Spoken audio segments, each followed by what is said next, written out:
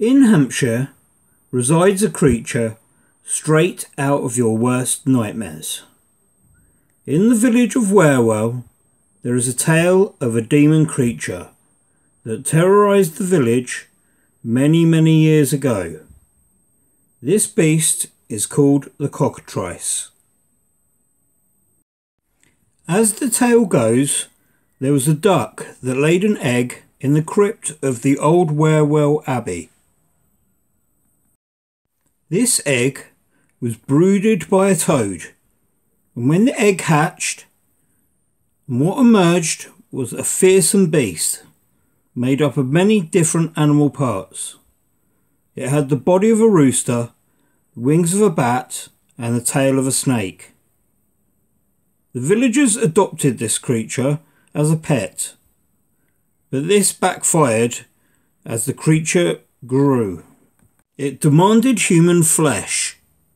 It grew so large that it was capable of flying across the countryside, grabbing victims with its huge talons, taking its prey back to its lair to feast. The villagers of Wherwell offered four acres of land to anyone capable of killing the beast. All who attempted this feat of bravery died, until a man named Green hatched a plan. He polished a sheet of metal so it shined like a mirror. He placed the mirror in the monster's lair. The creature saw its own reflection and attacked the mirror until the creature lay exhausted. When Mr. Green came out of his hiding place and stabbed a spear into the beast, killing it. Four acres of land was rewarded to the victorious man, and in nearby Harewood Forest the same four acres still exist today, known as Green's Acres. This tale is not an anomaly. Across Europe in medieval times, such beasts were associated with demonic forces. In Elizabethan times, the cockatrice was seen as a very real threat. The beast had lines in some of Shakespeare's most famous works. In the play Romeo and Juliet, it was said, And that bare vow I shall poison more than the death darting eye of the cockatrice. In the play Twelfth Night, it was written, This will so fright them both that they will kill one another by the look like cockatrices. The first use of the word cockatrice in English was in a translation of the Bible by John Wycliffe in 1382.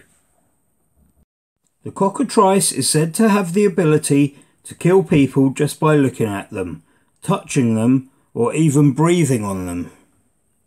In Shakespeare's Richard III, the Duchess of York compares her son to a cockatrice.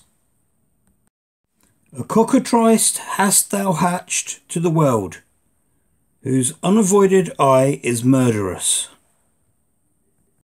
The cockatrice appears in other works such as The Worm Ouroboros, The Honest Man's Fortune, and is also found in Harry Potter and the Goblet of Fire.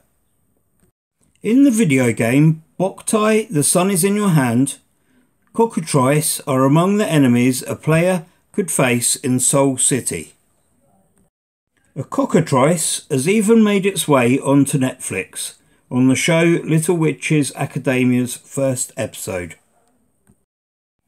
It also shows up as a dungeon boss in the Underground Labyrinth gameplay section of Little Witch Academia Chamber of Time video game for PC and PS4. So, although such a creature is just a tall tale told through the ages, it has managed to enter pop culture along with mythical creatures such as the dragon or Pegasus. Just for safety's sake, if you're in the Wherwell area of Hampshire, keep your eye on the sky or you may just fall foul of the fearsome creature yourself. Thanks for watching, don't forget to like, share and subscribe.